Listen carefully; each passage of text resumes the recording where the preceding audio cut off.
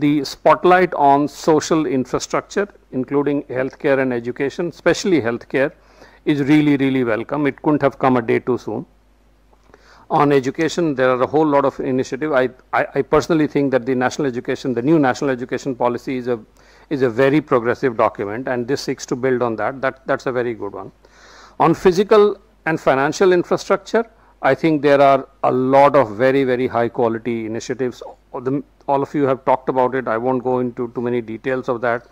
But I think uh, the broadly, the investments in, in infrastructure by and large and also segments that will that will propel growth for other sectors, whether it is uh, whether it is roads, real estate, affordable housing, uh, and some amount of initiative in, in urban transport management, etc. All of those are going to be really, really uh, significant. What I'm very excited about is the fact that the government remains very ambitious on its disinvestment uh, disinvestment agenda, and they, that there is a there is a plan. As Naina was saying, that this whole creation of the SPV is probably a more structured, more disciplined and accountable way of pushing that agenda. What has come in the, the budget this year is also an, an, an attempt to monetize our uh, land banks. And I think this is, this is a really, really strong and bold step.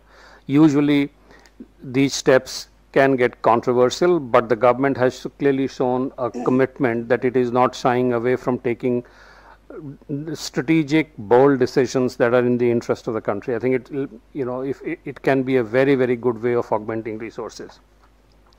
Uh, in terms of, uh, I think there are, in terms of ease of doing business, and as Devin was saying, that trusting the taxpayers, there are some very clear initiatives. The, the reduction in the period of dispute, you know, uh, uh reduction in the period of uh, of uh, returns that can be opened from six years to three years is very, very significant. It's a really painful thing for an ordinary taxpayer to just maintain all the records and data for six years was, was totally unrealistic.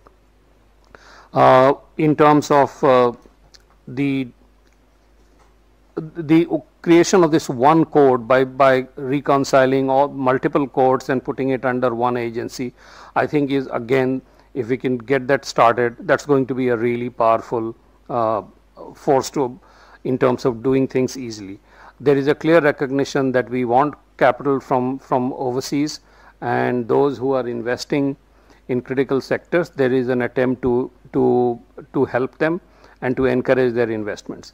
I think uh, many members have spoken about the the positive forces that the finance minister is seeking to unlock through uh, REIT and InvIT, and those are all those are all really very very very good.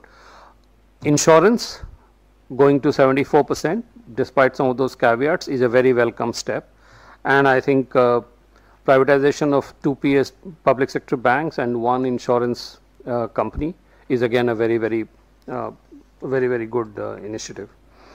Uh, I think overall the focus on asset reconstruction and asset management is, is, is a lot more thought through it seems in the budget and that should yield us better results. Uh, the, the attempt to push both digital and electronic payments and also use of digital technologies and digital uh, ways of working in terms of uh, conducting the business of government, whether it is the electronic uh, appellate tribunal, electronic, uh, you know, e-courts, etc. Those are really, again, very, very uh, welcome moves.